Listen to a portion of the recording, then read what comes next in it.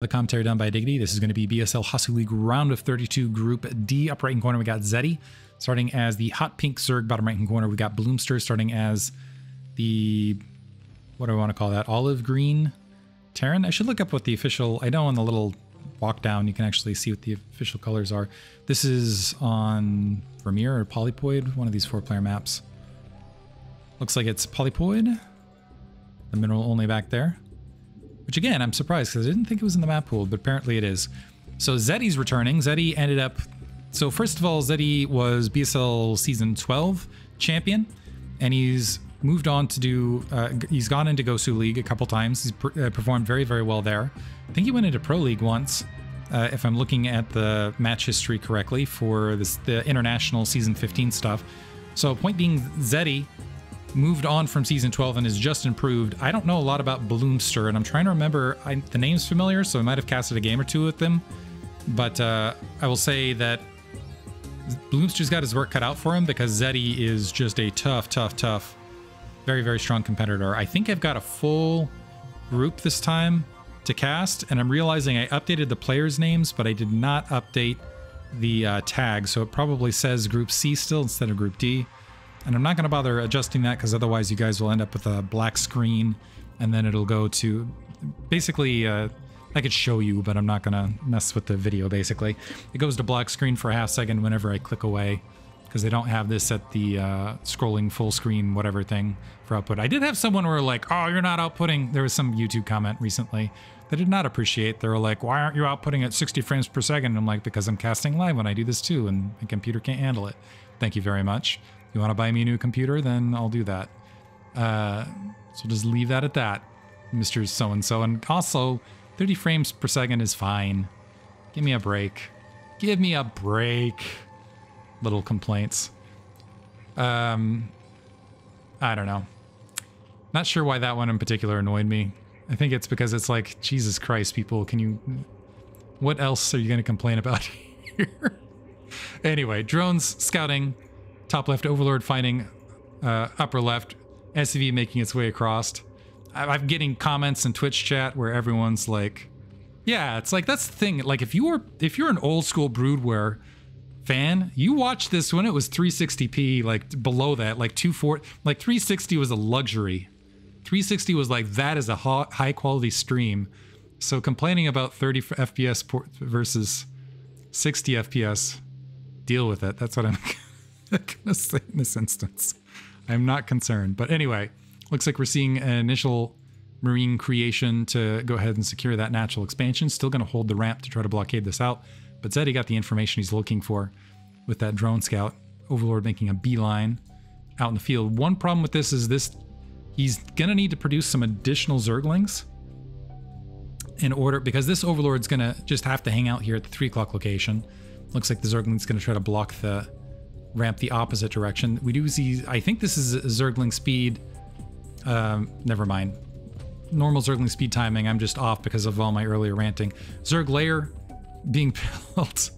SCV still getting some decent scouting information. Still have a Zergling holding the ramp. But what Zety does need to do is he actually needs to produce a couple extra Zerglings to get down towards the front to confirm the Marine. Well, I guess not in this instance because it's not a front door seal, but he does need to get a good eye on the marine production, uh, the marine production from Blomster, so that he doesn't end up all of a sudden swarmed and uh, lack of recognition of okay the the troop movements that are out there. I believe this Zergling, nope, neither Zergling. So I missed a. Was it the drone who got the kill? I'm trying to find the drone that might have gotten that last hit on the SCV. But this is what I'm talking about. The Overlord now spots him at the three o'clock. Is that Overlord going to get taken out as well? Overlord gets taken out, putting Zety in the red, and Blomster all of a sudden looking real solid. Emergency creep colonies being dropped, but they're not going to be done anywhere near time. And this is also, he's got only the two Zerglings to work with. Again, because that Overlord cross position wasn't able to scout anything. So Blomster are going to be able to get a massive amount of damage done with this.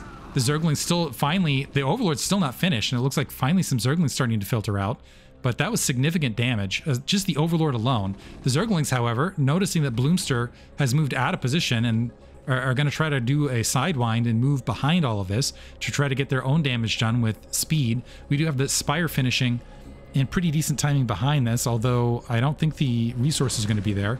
Zergling's crowding, able to get some marine kills. No SCV pull from Blomster. So I was looking for the SCV pull to, uh, to help support those marines, and that would have been secure. Instead, it looks like he's going to end up losing a medic on top of a couple additional marines, and all of a sudden this is looking good for Zety on the swing around. The marines having to go all the way into the main, but that losing that early medic is huge. That leaves one medic remaining. It's going to be somewhat delayed. You might have to overbuild turrets now uh, as far as a follow-up concern. And let's see if Zety just... So he's got, yeah, he's got plus one weapons, a lot of Mutalisks being constructed. But this is only six Marines. Granted, we have a third barracks being added on, but this could be very, very frightening. Yeah, the Mutalisks making the way, and we don't have turrets started yet. Turret just starting bottom right. So Zety has a big window, and actually it looks like went for uh, some sort of cancellation to put himself in the red to get some additional units out. So able to dive in, is going to be able to halt that turret constructing another SCV trying to get there. The Medic Marines having trouble cycling their way back. They did luckily end up with the Mutalisk out of position, but Zety just nearly ending up in a situation where we might have been able to take it right there. So now diving into the Marine line, or sorry, the SCV line, creating some additional disruption, getting a good amount of worker kills. Has taken a pretty heavy beating, though, on at least two of those Mutalisks as he exits. Third barracks being produced. Blomster actually doing a great job of not panicking and dropping way too many turrets. However, there's still only a single turret defending, and with that Marine count and also being out of position, not going to be there to defend at the natural, so more economic destruction there. He has, if you look at the mini map, dropped another expansion top left. And also getting, oh, that medic is exposed too. So a Mutalisk for a good, yeah, for a medic and a good amount of troops. Otherwise, I think this is going to be a happy trade for Zety overall. And it's only two Marines left on the field here versus five Mutalisks. And Zety's still trying to micro this. He's actually microing a little bit because he was still in let me micro this mode. And if he just actually attack moved that, he probably would have won that fight and that would have been it. Uh, but Blomster on just the thinnest of edges to try to stay in this match now. And I'm not sure where to call this now. Zety in not the worst position. He's got two damaged Sunken Colonies on the front. Looks like he might be transitioning into let me just all in Mutalisk mode. Plus one weapons isn't that far from finishing. And Blomster still has not been able to rebuild that medic and marine count to deal with these Mutalisks. And as a result, taking additional SCV losses at the main. He's done a fantastic job, though, keeping up to just keep building the units. But you can see that worker count's been dropping, dropping, dropping, getting closer and closer. And the problems are just going to increase now for him as the Mutalisk flock has gotten to substantial count of 10 and plus one weapons is just about to hit. And I think Zety smells blood in the water. I don't think he has any intention of transitioning. I think he wants to try to win it with just pure Mutalisk alone at this stage. So going to continue to dive into this, that turret desperately trying to get constructed, but more SCVs losing their lives for the cause. It is now a five worker gap between Zety and Blomster. Plus some weapons has started. I think the upgrades, I haven't been paying attention to whether uh, Stimpak and uh, where the status of Stimpak and range behind this, but this is plus one weapons is coming out uh, much later than usual. Medics getting picked off on the corner, and Zety now looking real sharp and looking at Zety's play here, especially the recovery, aside from the mistake early of just not having the Zerglings in position to check the move out, um, looking good as far as a recovery position. Loses a Mutalisk right there, but still exposes the SCV line. And the SCV is no longer mining at the natural expansion. They're huddled around that turret to try to mitigate losses, but that's not even helping. He's now dropped in. He's got a lower worker count at this stage than his opponent and it's just plummeting. Yeah, now at this stage, Zety can just purely produce Mutalisks and win it outright because he's got a superior economy, more larva, and even if he just sits back, he can. He's already got the Queen's Nest. He can transition directly to Hive and win it from here. He's done so much damage to Blomster's economy. Blomster somehow trying to get a starport up and a science facility, maybe to try to get a science vessel out, but he's only got 15 SCVs remaining.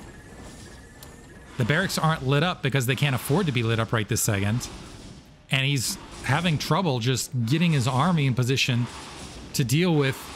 We're approaching the 10 minute mark, which is usually when you wanted to have map control as a Terran at this stage where you got your your medic marine somewhere planted out in the field. Instead, we've got kind of a refueling battle drone out there as a mistake in the rally, but refueling station for the Mulos just going to sit there and recharge on low units right out on the front, which just shows you how strong a position this is for Zety overall, continuing to take down turrets. Now using the high ground advantage against his opponent to carve out what units are left. And honestly, that should be GG right here. That's, yeah, two Marines gone. Well played from Zety. A great recovery, I have to say, in this match. Hope you guys enjoyed it. Enjoy the three, the 30 FPS content. Thanks for listening.